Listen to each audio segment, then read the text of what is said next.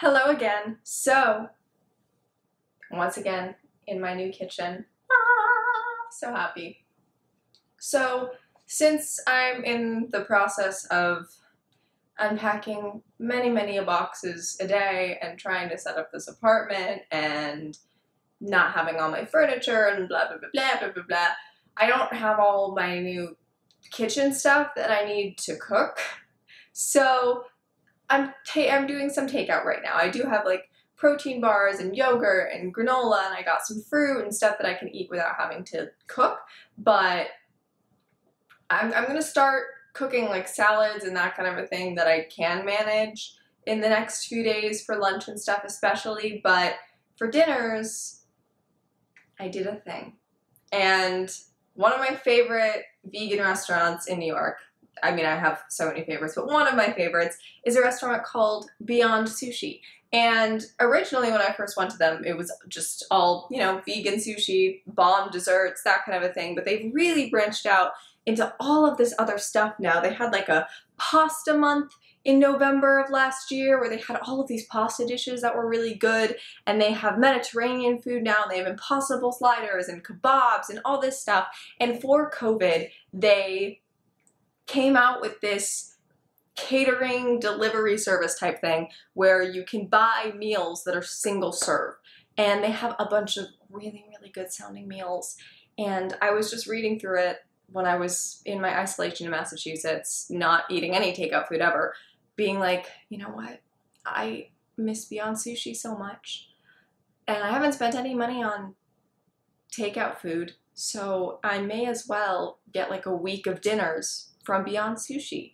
And they're all single serve, which is super easy for me because most places right now, when they're doing like big week deliveries or whatever, it's for families and or houses of two at the very least. And I'm a house of one. And I don't like having the same thing every day. I, I can do it once in a while, but I, I like food too much to have the same thing every day. I just need to try new things. So the fact that I could get six different meals sounds pretty great to me. So that's what I did.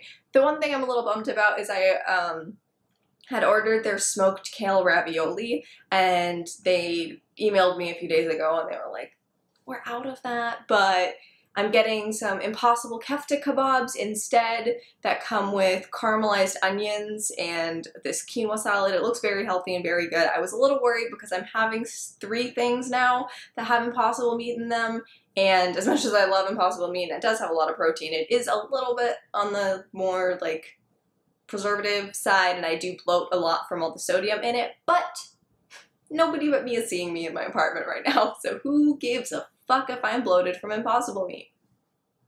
I don't. So I have a bunch of very cool things coming today, and I will show you each meal that I get as I eat them throughout the week. I will try them, I will rate them, and it should be a fun time. So, hell yeah, Beyond Sushi. Hell yeah, being back in New York for food delivery. I'll see you later today when my order gets delivered. It's here. It's arrived. It's been delivered.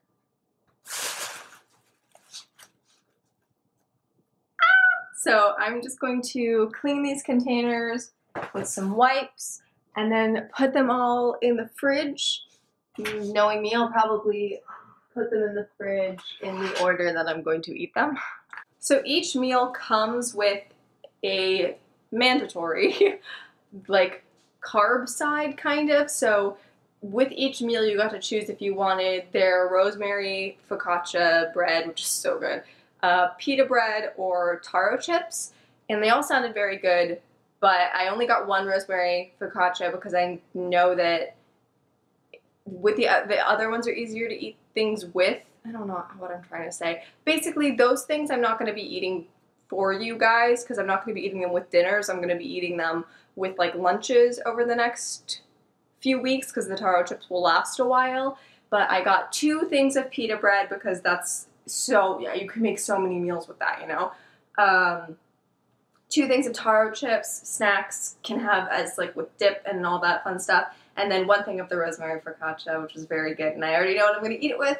And once I'm done getting through all of this food, I'm, I'm basically going to freeze it and I'm going to bake it.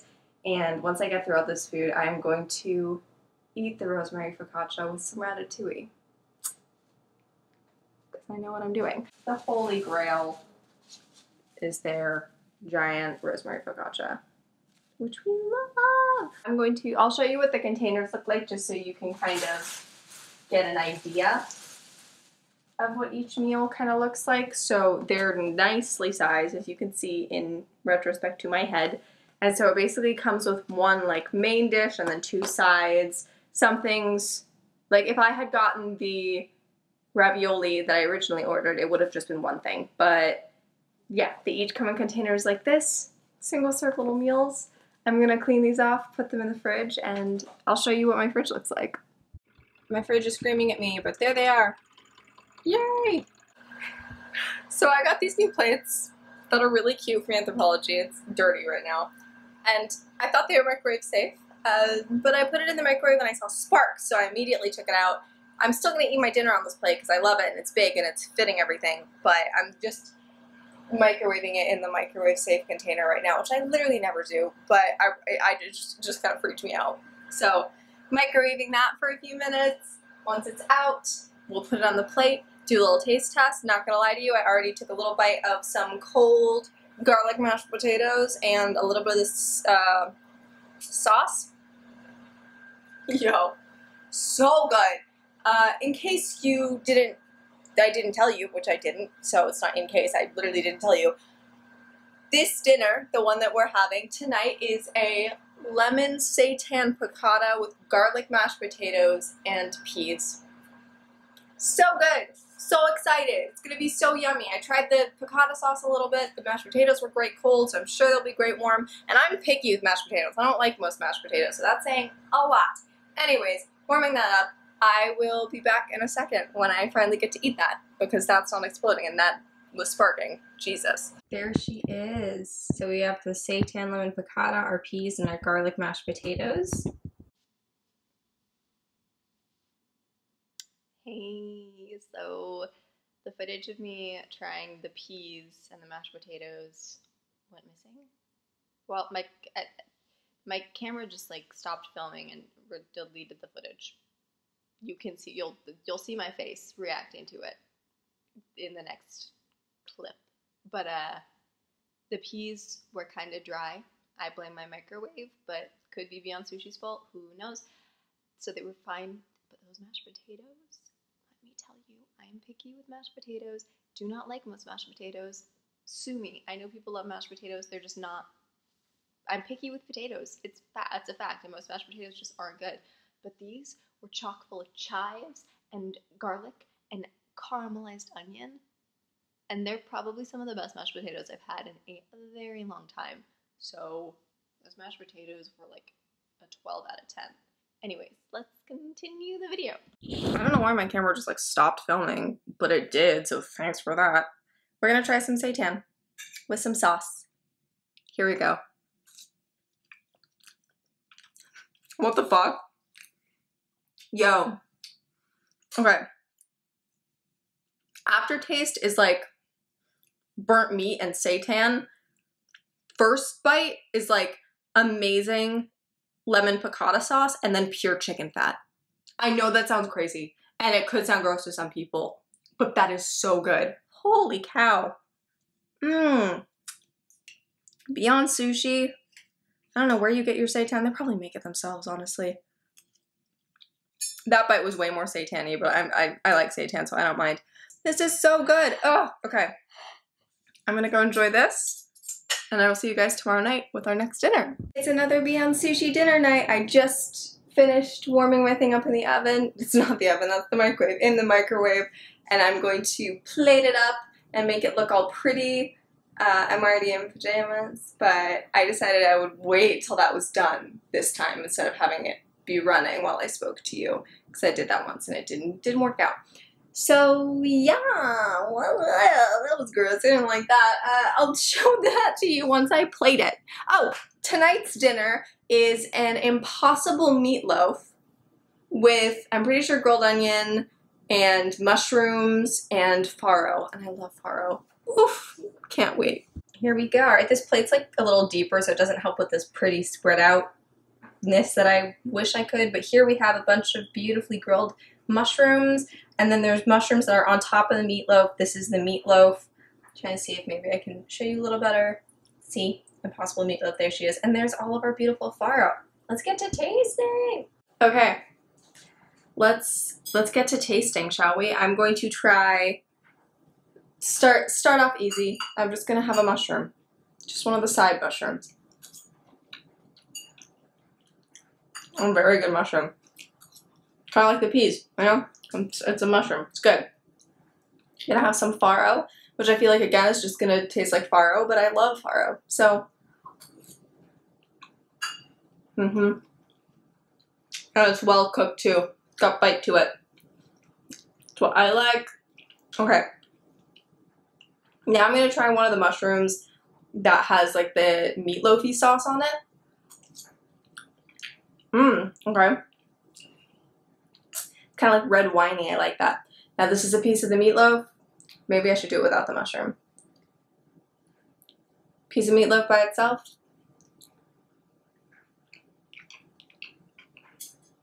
Ooh. They really know how to like season and mess with their impossible meat to make it taste so good. It's kind of like a red winey sauce with the mushrooms, but the meatloaf itself doesn't really taste like shitty meatloaf because like when I imagine meatloaf, I just imagine like the taste of beef and ketchup. This is like elevated. It tastes like red wine mushroom sauce and charred hamburger meat. Let me take one more bite, see if I can. Yeah, that that that tastes better than Impossible Meat. I don't know how Beyond Sushi manages to do that, but they do, and God bless them for it. So good. This whole meal I feel like is probably going to be a 10 out of 10 again as well. I'm going to go eat it for dinner, and I'll see you tomorrow night. Hello, hello, hello. It is dinner time. Tonight's meal is what was supposed to be the smoked kale ravioli that they ran out of, which is fine.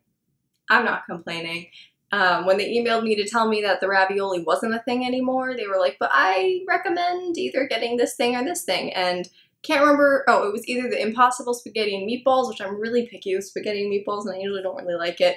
So I went with the other thing, which is kefta kebabs. So dinner tonight is some Impossible kefta kebabs with grilled onion, quinoa salad. It looks more just like quinoa with a little bit of parsley in it, but I love parsley, so good with that. And roasted broccoli. So I'm going to, I'm going to, I'm going to warm that up in the microwave real quick, put it on a plate, show it to you, and then we'll get to tasting. All right, here she is. They're very generous with the quinoa. It's like a tricolor quinoa. There's a little bit of parsley in it The broccoli's very hot. It just looks like plain steamed broccoli, so I feel like that's what it's going to taste like. And these are our three beautiful kefta kebabs that have spices on them and beautifully caramelized onions. So let's get to trying. All right, let's start with the quinoa since there's a lot of that. Let's see what we think of her. Oh wow, that got everywhere. I think I'm gonna need a spoon.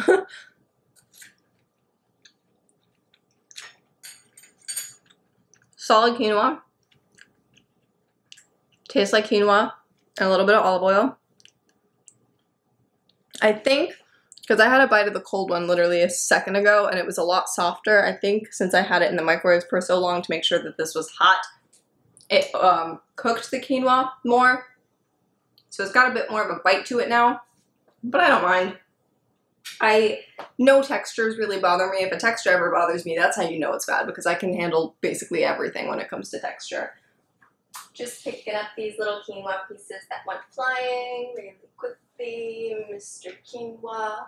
Let's try a piece of this broccoli, shall we? Um, I have a feeling it's just going to taste like broccoli, kind of like the peas and the mushrooms have the past two days, where it just tastes like vegetable, not much else, but okay, this isn't cutting, so we're just to, do we take a huge bite of no, we're not to take a gigantic bite of broccoli. We're just to take a regular person bite of broccoli.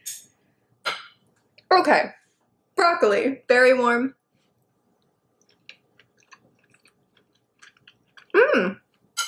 Mmm. It's good because it's cooked perfectly. It's soft, but there is a bite to it. It's like al dente broccoli. Um, And there's garlic on it. So, garlic and broccoli. So solid. All right, now let's try a kefta kebab with a little bit of caramelized onion because they're meant to be eaten together. Shall we, shall we? I think we shall. Whoa. That somehow tastes like cinnamon meat. And I know that sounds disgusting, but I mean that in a really good way. I don't know if it's because of the onions. Let's let's try an onion by itself.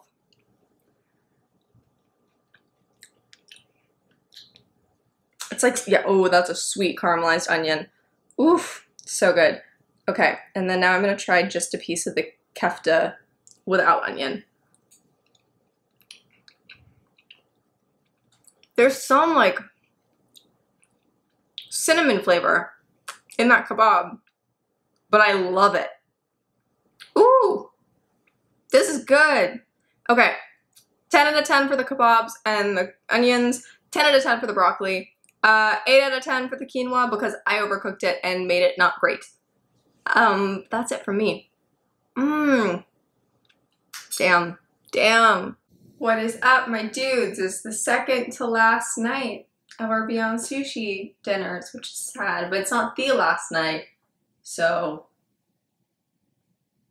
we're eating more impossible meat. Wow. Um, I haven't put it in the microwave yet, but I'll tell you what we're having tonight since I'm going to heat it up soon.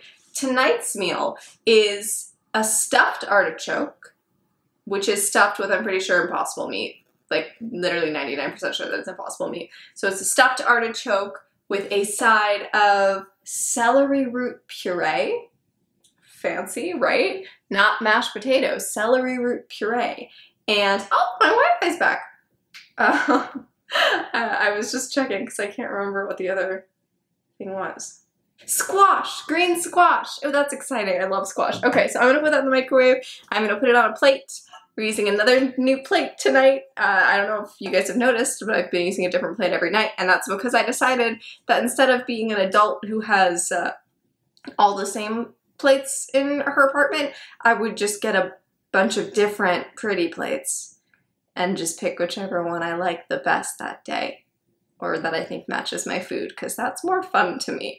Anyways, this one's like a metal one, so I don't think it can go in the microwave, so I'm not even gonna try it. But it's pretty. It's like, I mean, when I saw it online, it didn't, it wasn't this exact one because it's like a water color type deal marble swirl, so I think they're all different. I could be wrong. So this one's a little funky looking, but it kind of looks like an airplane, maybe. Or like a betta fish? It's in the microwave now, so sorry if it's loud, but I'm guessing they were out of squash, which is fine. It's a little sad because I love squash, but you know, I dealt with the smoked kale ravioli and that turned out really well, so I can deal with not having squash. They gave me more broccoli instead, but if it's as good as that garlic broccoli that I had last night, was it last night? I hope, I think it was last night. Last night or the night before, the night before that. It wasn't. I'm pretty sure it was last night. Okay. Um, if it's as good as the garlic broccoli that I had last night, then I'm happy. Because that was really good garlic broccoli. But we'll see. I guess we'll see when we taste it. I licked a little bit of the celery root puree cold off the inside of the container because I felt like it. And it tasted kind of like chicken broth. So hopefully when it's warm it doesn't taste like that anymore because I don't like that. All right, there was a lot of um, like sauce left over in the compartment that had the uh, impossible artichoke, so I just poured that on top It's like a sauce and I'm realizing that it's gonna get all under the plate and soak into everything, but eh, more flavor. So here we have the celery root puree, the broccoli that I see little garlic pieces in, so I think we're in luck for garlic broccoli, and the stuffed artichoke. Alrighty, let's, I'm not gonna lie, I already had a little bit of the celery root puree and it does kind of taste like a vegetable soup, which I'm not the like a, the biggest fan of. It tastes like a, a, vegetable soup made with chicken broth specifically, and I don't. I hated chicken broth before I was vegan. Like I never liked it. Never liked chicken noodle soup unless it was from Panera Bread. either, so. Mm, okay, but that bite had more of like a celery kick to it. Okay, I liked that bite. What the hell? Okay, that just tasted like celery root and like white wine. So that was nice. That's a little better. Okay, let's try a bite of broccoli and see if I was right and it is garlic broccoli. Huzzah! So good. Oh, tastes like something I'd get at like CPK or Chili's. Oh, so good. Such random places to name. All right, we're gonna try a bite of this stuffed artichoke. And I want a bite that has both the meat and the choke. Cheers.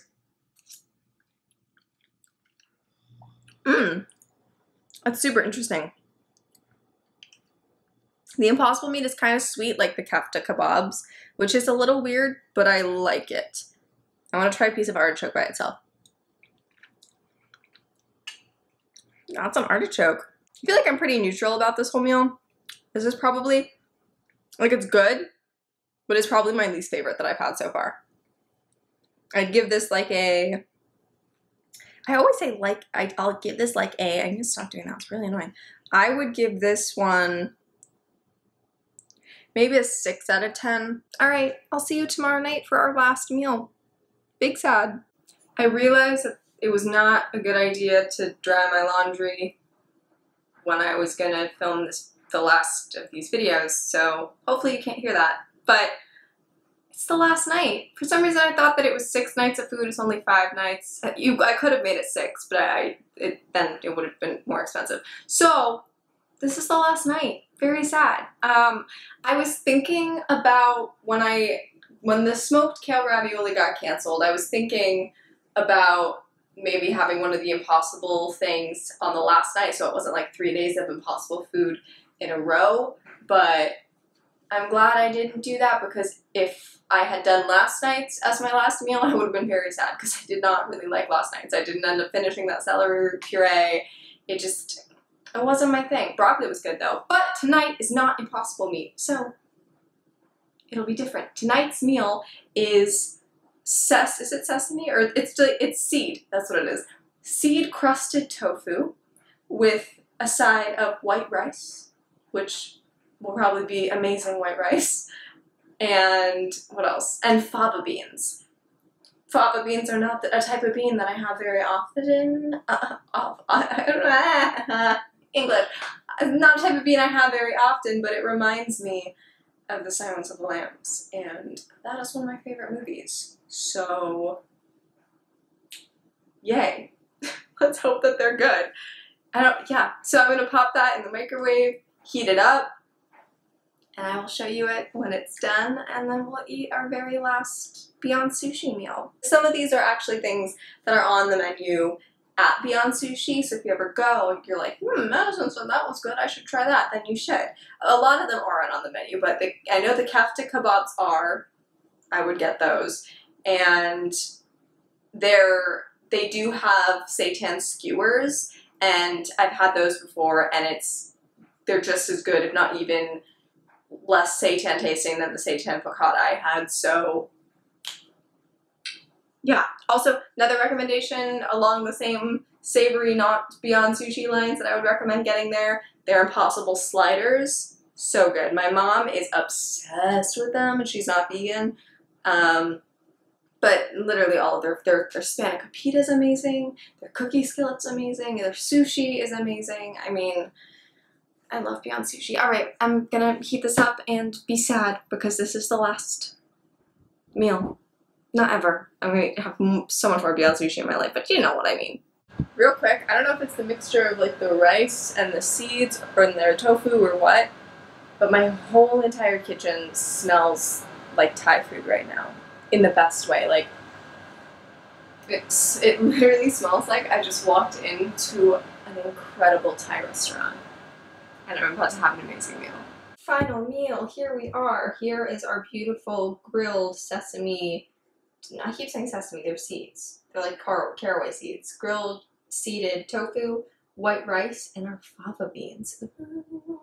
Okay, I'm gonna start with the thing that is the least exciting, technically, which is the white rice.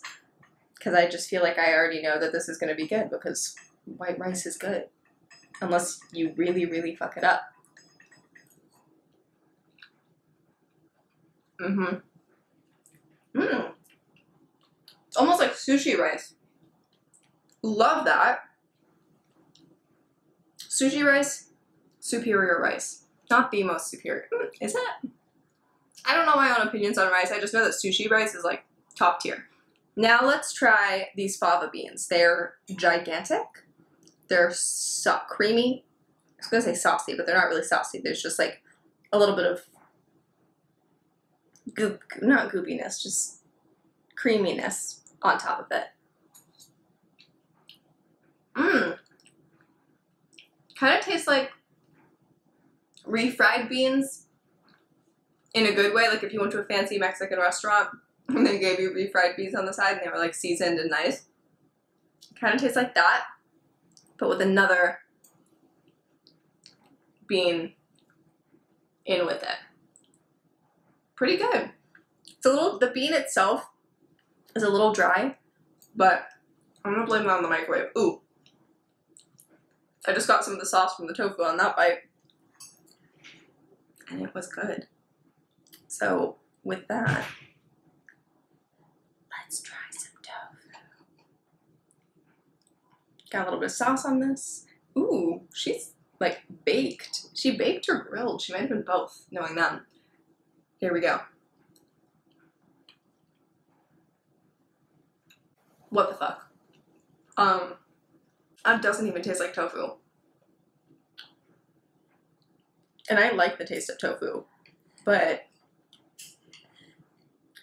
this is so meaty. Got a little bit of a kick to it, but tiniest bite. Ooh. And those caraway seeds. That is some of the meatiest tofu that I've ever had. And the flavor that those caraway seeds, and there are black sesame seeds, so I wasn't completely lying, but the flavor that they add to that like meaty tofu, oh my god. Mmm. Okay, rice, 10 out of 10. It's like sushi rice, it's great. That tofu, 10 out of 10. Those fava beans, 8 out of 10 only because I think my microwave dried them out. But other than that, at this whole meal, because of that would be like a 9 out of 10, but 10 out of 10. So good. Ooh. Oh, okay. I'm gonna go eat my dinner and I'll be back and we will do a final ranking, which will be very difficult for me, I'm sure. Hello, I'm cold, so I have a blanket around me and I just stopped crying like 20 minutes ago. So I'm doing great. but I'm gonna film the end to this Beyond Sushi video because because it's over. we need an ending. And I told you that I would rank them, and I kind of figured out my ranking last night. So, like I said, most all these meals were incredible, and I loved them all so much, but some of them were just better than others, I guess. So obviously each meal came with three things on the plate. So my t- number one pick is the thing that each of those three items were prime. Because some of them, it was like one or two of the items were really good, but then one of the other ones just was fine. So the number one, top of our list, is the meatloaf with farro and mushrooms, because that meatloaf slapped, and the sauce on it did too. Farro, we love farro. Those mushrooms, great all three of those things were incredible, and because of that, that goes on the top of our list. Then, secondly, we have the. Ooh, I'm forgetting one in my head, aren't I? I am. Anyways, secondly, I think I'm gonna go for the sit or maybe on the same level, I'm gonna go for the seitan piccata and the kefta kebabs because with both of those, the meat, so the kefta and the seitan, were really good, and then the peas with the seitan were fine, they were just dry peas, but the mashed potatoes, so good. And with the kefta kebabs, the broccoli was great and the quinoa was just like whatever. So those come in second. Maybe mashed potatoes and then kefta. so like the kefta meat was better than the seitan, but the mashed potatoes were better than both of those sides. But the seitan was still really good. So those were second. Th- that means that third would be the tofu dish that I had last night. But again, like it's so so good. So I would almost put that. All of these are number ones in my opinion. This is just sorting the number ones based on which plate was had the most good stuff. So for last night, those fava beans were a bit dry, so I wasn't like super digging them, but the tofu was super good and that rice tasted like sushi rice, so I was really digging it. But that that that will be third.